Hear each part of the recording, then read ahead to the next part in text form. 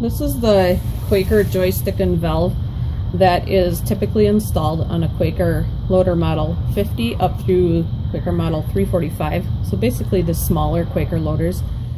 What comes in the kit is the hydraulic valve itself.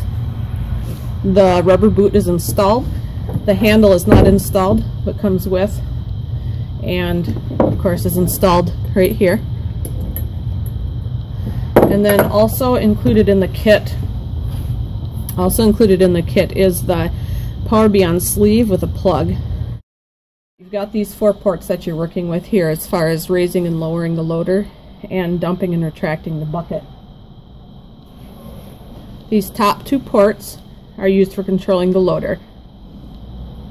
This is the port for the raise hose and then this is the port for the lower hose and then these two ports are used to control the bucket.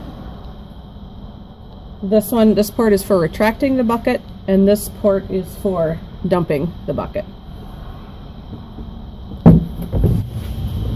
If you have open center hydraulics, then you're going to take this sleeve and plug combination, you're going to take the plug itself out. The plug will be installed in the port on top.